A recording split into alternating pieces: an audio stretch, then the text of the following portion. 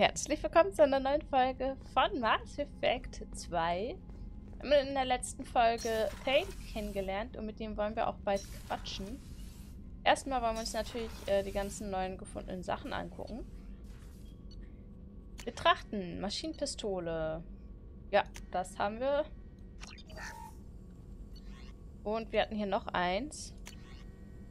MP-Schilddurchdringung. 15.000 Gruppenschaden, 50% Gruppenschaden. Ja, nehmen wir natürlich mit. Dann haben wir noch was für Sturm, das Sturmgewehr. 25% gegen äh, Panzerungsschilde und biotische Barrieren. Nehmen wir natürlich auch. Wir haben ja die Ressourcen. So, jetzt haben wir aber nichts mehr freigeschaltet, oder? Nee. Panzerungsupgrades. Notfallschilde.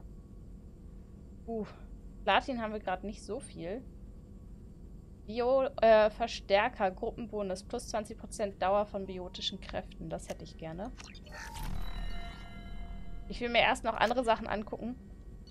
Ach, schweres Knochengewebe. Gewebe. Er erleidet durch Nahkampfangriffe weniger Schaden. Nur Shepard. Machen wir doch mal. Und dann gucken wir nochmal. Notfallschilde. Einheit regeneriert die Schilde von Gruppenmitgliedern auf volle Stärke. Also die, die Wiederbelebungsdings. Finde ich eigentlich ganz gut. Wir machen das jetzt einfach. So. Geschafft. das haben wir schon mal geschafft. Jetzt müssen wir nur... Ähm... Warte mal, können wir sie anquatschen? Jacks Tätowierungen sind wunderschön. Bestimmt genauso bunt wie ihre Vergangenheit. Allerdings macht mir ihr Temperament Sorgen. Sie haben Sorgen wegen Jack? Sie wird im Einsatz absolut verlässlich sein, aber ihre Einstellung lässt auf tiefgreifende persönliche Probleme schließen. Sie stößt andere zurück, geht aber freimütig mit Sexualität um. Ich glaube, sie versteht selbst nicht, warum sie so handelt. Seien Sie einfach vorsichtig, wenn das Gespräch auf persönliche Themen kommt. Natürlich. Ich werde mein Bestes tun, um Sie nicht zu verärgern. Warnen Sie mich, falls Sie versagen, damit ich mich rechtzeitig verstecken kann. Wie auch immer. Wie kann ich Ihnen helfen, Commander? Können wir plaudern? Haben Sie mal einen Moment Zeit? Für Sie habe ich immer Zeit, Commander. Okay. Ich gehe besser. Okay, Ist nichts vielleicht Neues. reden wir... Commander, Sie haben auf Ihrem privaten Terminal eine neue Nachricht erhalten. Ja. Gucken wir doch mal. Vielen Dank für die Hilfe, Lisbeth Bainham. Hey Shepard, ich habe gehört, was Sie auf Iliop getan haben und möchte mich dafür bedanken, dass Sie Zeus Hope schon wieder geholfen haben. Wir haben überlebt, wenn auch knapp. Die meisten von Exogeny sind weg, aber ich bin als Gesandte geblieben, um dafür zu sorgen, dass von dem Torianer nichts zurückgelassen wird. Wir können dieses Problem nicht noch mal gebrauchen. Außerdem tut es mir wirklich sehr leid, dass ich auf Sie geschossen habe. Das habe ich zwar bestimmt schon gesagt, aber ich wollte es noch einmal wiederholen. Viel Glück und nochmals danke. Dank Ihnen liebt Zeus Hope wieder. Beste Grüße, Lisbeth Bainham. Und die kann ich mich gerade nicht so erinnern. Also wir sind ihr bestimmt auf Feros äh, begegnet. Aber gerade äh, fällt mir nicht ein, wer das sein könnte. Martin Burns, das sagt, der Name sagt mir aber was. Commander Shepard. Udina hat gesagt, diese Nachricht würde sie erreichen. Sie sollen wissen, dass ich nicht vergessen habe, was sie an jenem Tag für mich getan haben, als mich diese irren Biotika als Geisel genommen haben. Sie haben sie überredet, mich gehen zu lassen und mich lebendig von diesem Schiff runtergebracht. Ich will nicht lügen, ich habe diesen Job nur wegen der Macht angenommen. Das Problem der Biotika war für mich ein Sprungbrett, das sich gut in meinem Lebenslauf machen würde, aber das war falsch. Wir alle dienen der Menschheit auf unsere eigene Weise. Ich weiß nicht, was Sie tun, aber ich will dafür sorgen, dass die Menschheit ihr Potenzial mit einem Minimum an Blutvergießen ausschöpft. Ich erhalte Dankesbriefe von L2 Biotikern, die gerade ihre Entschädigungszahlungen bekommen haben. Eigentlich müssten diese Briefe an Sie gerichtet sein. Ich dachte nur, dass Sie das wissen sollten. Für Glück, ich stehe politisch ganz schön unter Druck und wüsste nicht, was ich Ihnen als Hilfe anbieten könnte. Aber wenn Sie mich brauchen, lasse ich Sie nicht im Stich. An den erinnere ich mich. Den haben wir tatsächlich äh, gerettet und wir hatten ja auch unsere Überredungskünste dafür genutzt. Und jetzt kriegen die ganzen L2-Biotika ihre Entschädigung Das ist doch mal schön zu lesen. So. Oh, Teamstatus. Also das ist die Justikarin, aber wer fehlt hier denn noch? Ist ja noch grau, also kann man noch nicht sehen. Bin ja mal gespannt. Okay, das haben wir. Dann suchen wir jetzt... Ne, wir gehen einmal kurz... Wir haben doch diesen Fisch gekauft. Ich will mal jetzt kurz gucken, ob der da im Aquarium rumschwimmt oder ob, ob ich den da erst reinsetzen muss. Ah, Fische füttern. Hier sind die Fische. Und ich bin der Meinung... Ich weiß nicht, ob das jetzt schon geht. Wir gehen nochmal hier hin zurück.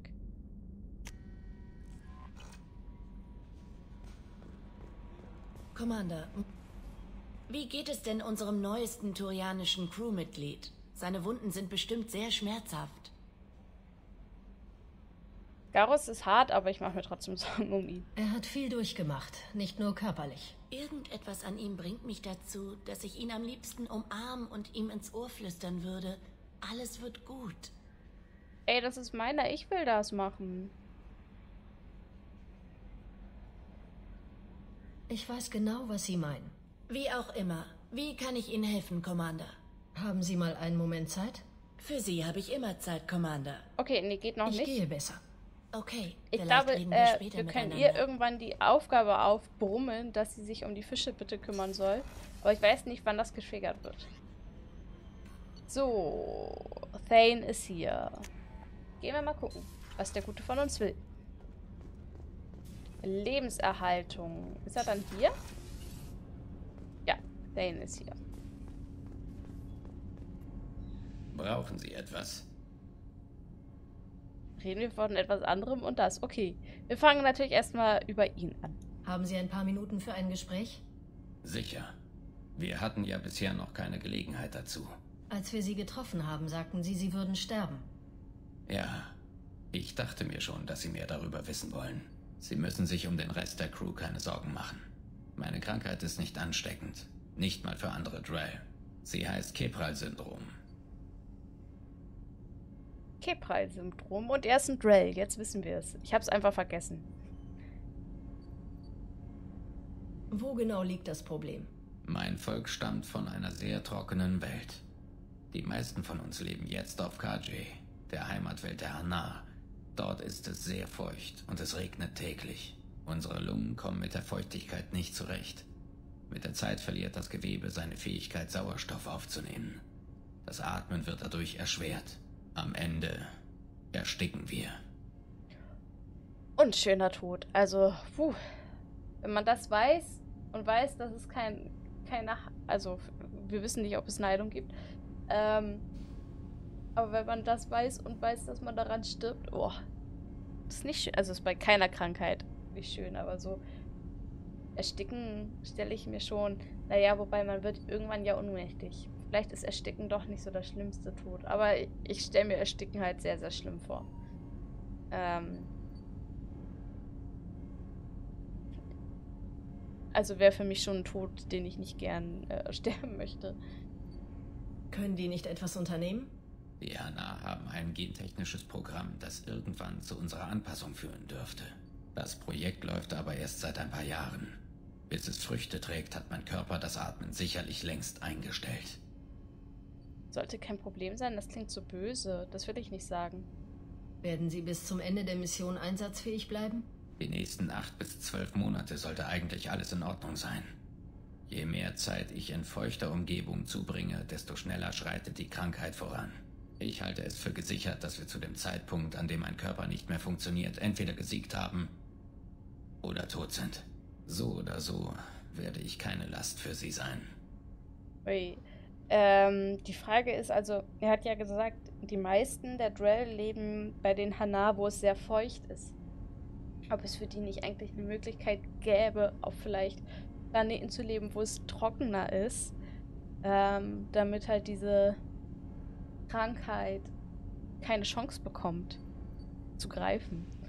Aber die Hintergründe wissen wir hier jetzt nicht. Ich weiß nicht, ob dazu was im Kodex steht, weil das würde ich gerne lesen. Also falls ihr das wisst, ob es dazu irgendwie einen Kodex-Eintrag gibt, dann gerne. Können wir hier etwas tun? Die Krankenstation der Normandy ist auf dem neuesten Stand. Nein, danke. Ich bin bereits in Behandlung. Und wenn die klügsten Mediziner des erleuchteten Primats der Hanna das Problem nicht lösen können, bezweifle ich, dass ihr Schiffsarzt dazu in der Lage ist. Danke für Ihr Mitgefühl. Glauben Sie mir, es wird meine Leistung nicht beeinflussen. Odrell-Biologie, das klingt nach dem Kodex-Eintrag, den ich gerne lesen würde. Äh, Brauchen Sie etwas? Reden wir mal über Darf was ich Ihnen einige Fragen stellen? Sicher. Ah, oh, Upgrades. Wir brauchen die bestmögliche Ausrüstung, um es mit den Kollektoren aufzunehmen. Haben Sie irgendwelche Hinweise, die ich verfolgen könnte? Mein altes Kontaktnetzwerk hat oft seltene Ausrüstung für mich aufgespürt. Soll ich mit Ihnen mal in Kontakt treten? Klar. Ja, mal sehen, was Sie haben. Schiffsverbesserung betrachten. Station für modulare Sonden. Oh. Oh, das möchte ich. Aber sowas von. Oh, wie cool. So, nochmal reden. Brauchen Sie etwas? Darf ich Ihnen einige Fragen stellen? Sicher. Ah, okay. Das müssen wir jetzt alles noch fragen. Das äh, ist mir wichtig. Die Drell leben auf der Heimatwelt der Hana, richtig? Ja. Ich weiß, dass viele sich schwer tun, die Hana zu verstehen. Das liegt aber nur daran, dass sie Wesen, die sie nicht kennen, sehr formell behandeln. Wir hingegen kennen sie ziemlich gut. Wenn sie einem Hana mal so nahe kommen, dass er ihnen seinen Seelennamen verrät, werden sie feststellen, dass sie sehr herzlich sind. Ich dachte, die Hana verraten nur sehr engen Freunden ihren Seelennamen. Die meisten meiner Aufträge waren für die Hana. Meine regelmäßigen Kontakte kannte ich ziemlich gut. Seelennamen sind meistens poetisch. Ein Hana, der für seinen Zynismus bekannt ist, nennt sich dann vielleicht Erleuchtet die Torheit der Tänzer. Das ist aber ein sehr, sehr langer Name. Aber auch, das finde ich auch super interessant. Ähm, weil ich finde, ein Name prägt irgendwie schon so ein bisschen die Persönlichkeit. Versteht ihr, was ich meine? Also, nicht wissenschaftlich gesehen, aber irgendwann lernt man ja, sich damit zu identifizieren mit seinem Namen. Also, das ist ja ein Prozess. Und ich schätze mal, ich, ich weiß nicht, ob ihr auch so eine Phase als Kind oder pubertärer, äh, hier Jugendlicher, also pubertärer Jugendlicher hattet da setzt man sich ja so ein bisschen mit dem Thema auseinander und man will dann plötzlich anders heißen oder sich umbenennen oder sonst was. Zumindest hatte ich so eine Phase. Ähm, bis man dann irgendwie irg oder irgendwann an den Punkt ankommt, wo man sagt, okay, ich kann mich mit meinem Namen identifizieren. Ich weiß, ich weiß gar nicht, wie alt ich da war. Aber irgendwann wollte ich anders heißen. Mittlerweile finde ich meinen Namen sehr, sehr schön und äh, möchte ihn nicht ändern. ich bin sehr zufrieden mit dem.